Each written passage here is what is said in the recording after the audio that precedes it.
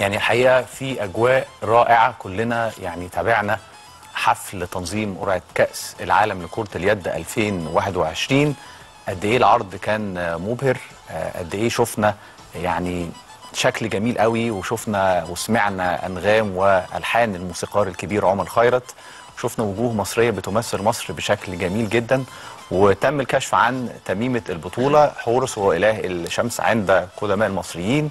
شفنا طبعا حضور عدد كبير من كبار يعني القامات على رأسهم. طبعا معالي رئيس الوزراء الدكتور مصطفى مدبولي شفنا رئيس الاتحاد الدولي لكرة اليد كان موجود وألقى كلمة. كان موجود طبعا آه، وزير الشباب والرياضة وعدد من الوزراء والسفراء. إلى جانب طبعا ممثلي كل منتخب من ال 32 منتخب اللي هيشاركوا ويتنافسوا على هذه البطولة الغالية على أرض مصر بإذن الله هتقام في يناير السنة اللي جاية بإذن الله.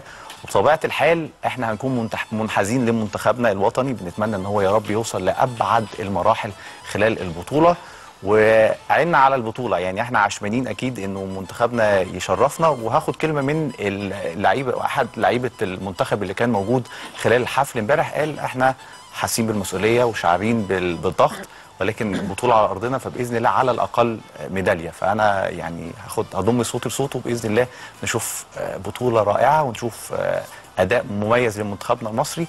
ويت... يعني زي ما إحنا متعودين عليه. ونشوف نشوف كده بطولة تليق باسم مصر هتقام بشكل جميل والجواب باين من عنوان شفناه من خلال يعني إعلان قرعه كأس العالم لكرة اليد. حاجة ولا أروع وإحنا متفائلين جدا جدا بالبطولة وبمنتخبنا إن شاء الله. إن شاء الله ربنا يوفقهم ونفرح. بإذن الله. إن شاء الله بإذن الله.